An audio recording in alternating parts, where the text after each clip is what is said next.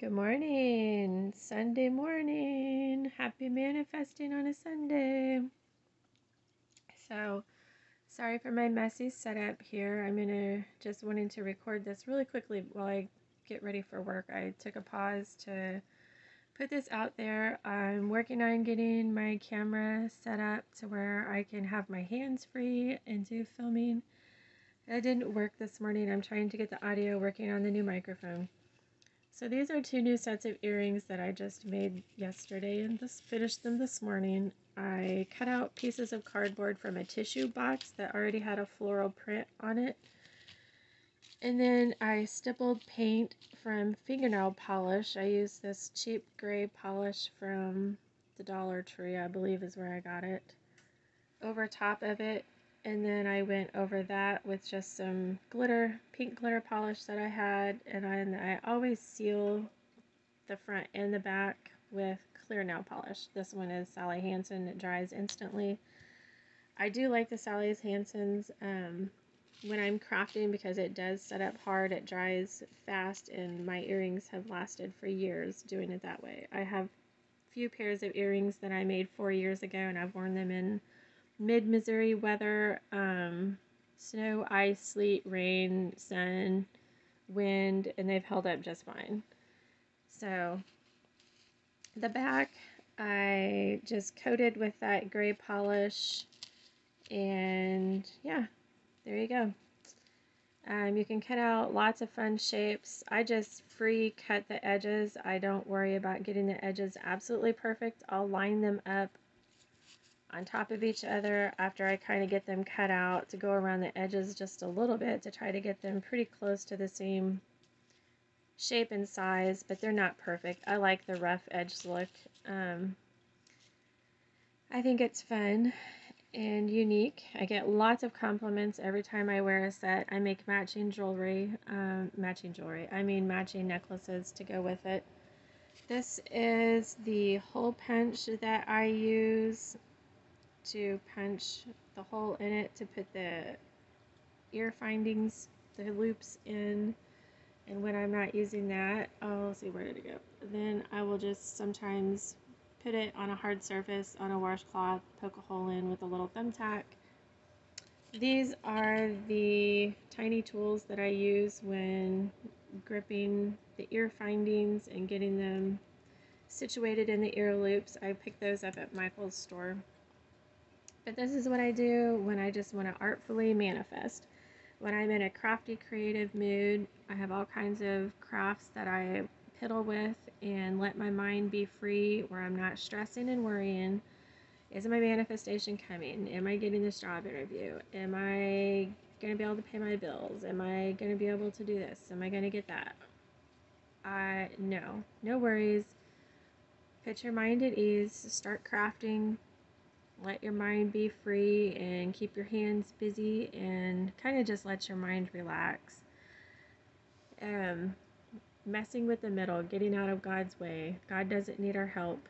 So some people call it God, some people call it the universe. You know, I think there is a universal power behind the universe. There's there is a God-like power behind the universe and I was raised Christian and I don't want to get into a big um, debate on where that energy comes from, but there definitely is a universal power that's very magnetic. It's full flowing energy all the time, and it says yes to everything. So I'm always saying be careful what you manifest, be careful where your thoughts go. Um, you can make it a rule that negative thoughts do not manifest, but definitely put out there positive thoughts that you want to manifest and just focus on that. Yes, and realize you already have it now. Creation is already finished. Just step into that new reality. Every second, every minute, every week is a new beginning. Every day is a new beginning. Step into the new you. This is where forgiveness comes from. Revise. Forgiveness and revision. Forgive yourself for negative thoughts. Revise. Revise your thoughts. Revise past events and you'll get everything that you desire. I have so many success stories in my own life um, where this is so true. Keep a mindful watch on where you're manifesting. if negative things happen, back up and say, wait a minute, where did I have that thought? Where did that come from? And then you can kind of pinpoint, oh, yeah, I had that negative what if. I was thinking, oh, well, what if negative things happen?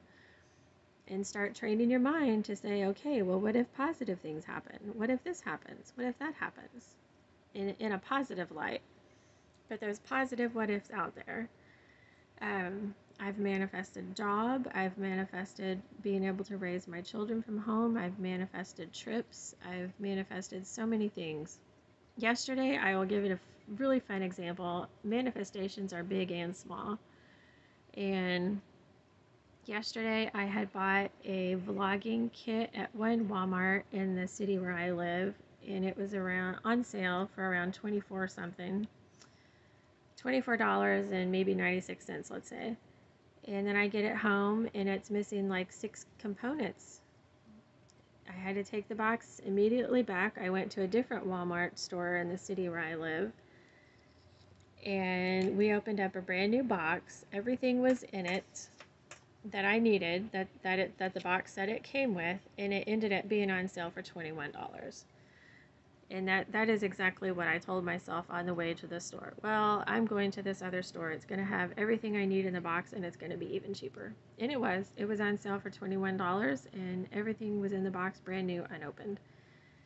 Um so those are fun manifestation tips. Those are just fun things that you set your mind to, nope, this is what I want. This is the way it's going to be and don't have any negative thoughts against that.